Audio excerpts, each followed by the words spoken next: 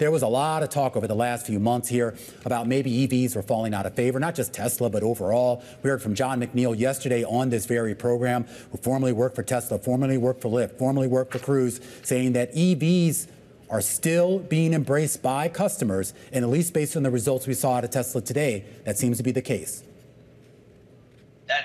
That's exactly right. We saw Tesla return to growth with deliveries, and we see we see Tesla is ramping up its new vehicles. So the Cybertruck is going to be ramping up production, and Tesla is still on track to deliver the new, more affordable vehicle in uh, in the early part of next year. And then we got a positive announcement from GM yesterday saying that they are still bullish on on EVs and that they will be producing them and think they can make them profitable. So you know, I think what we saw is a, is a temporary slowdown in EV growth, but generally EVs are still growing and consumer demand is still there. The company Tesla saying that it is on track to open that mega factory over there in Shanghai. And to your point, Seth, on the EV side, particularly on a more affordable EV, they are saying that they plan to launch those affordable models in the first half of 2025. And I want to get your thoughts on this because this has been a big bugaboo. And I think a big reason why a lot of investors started to sour on the EV trade is that a lot of these vehicles were just out of the reach for a lot of folks.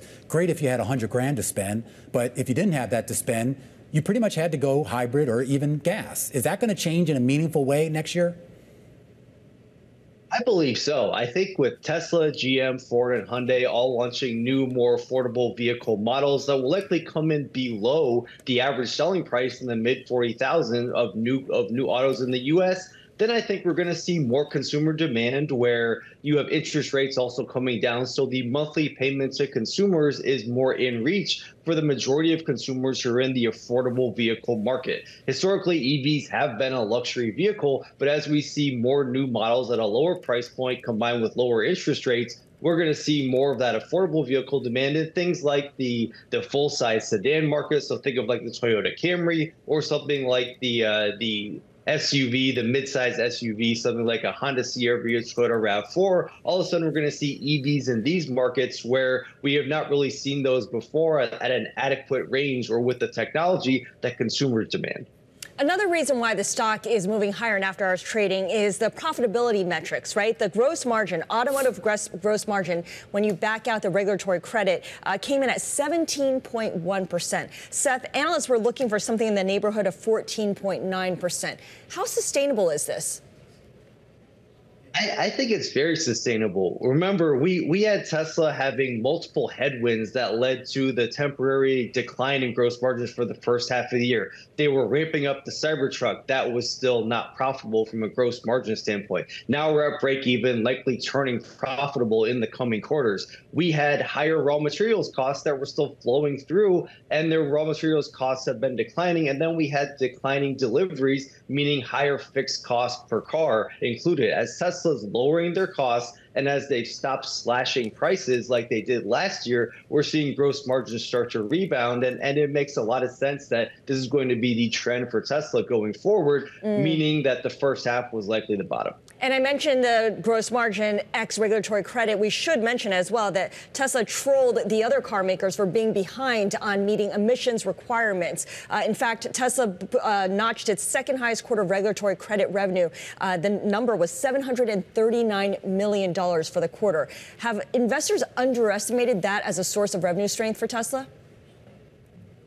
Well, it certainly helps, and it helps drive positive free cash flow and allows Tesla to maintain a very strong balance sheet with a strong cash net cash position. And so I do think Tesla will likely still see regulatory credit revenue for the next several years at least, uh, as other automakers still have to buy credits to, to meet their standards.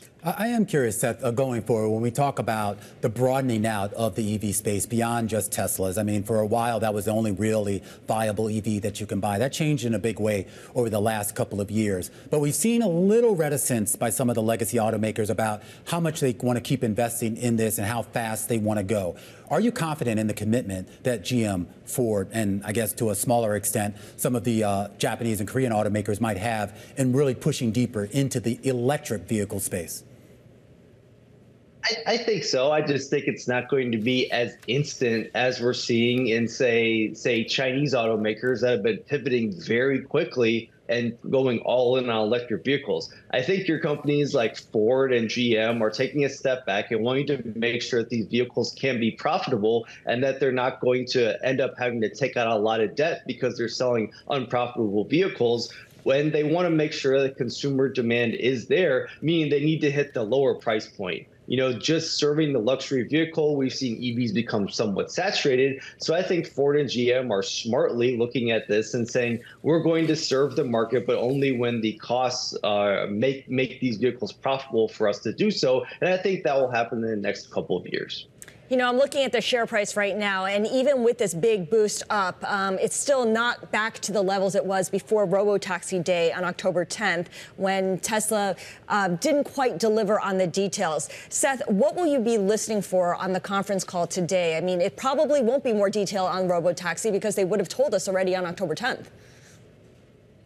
Yes, yes, exactly. I would be looking for more detail on the full self-driving because to get to robo taxis, we need to start where we are today, which is the full self-driving supervised.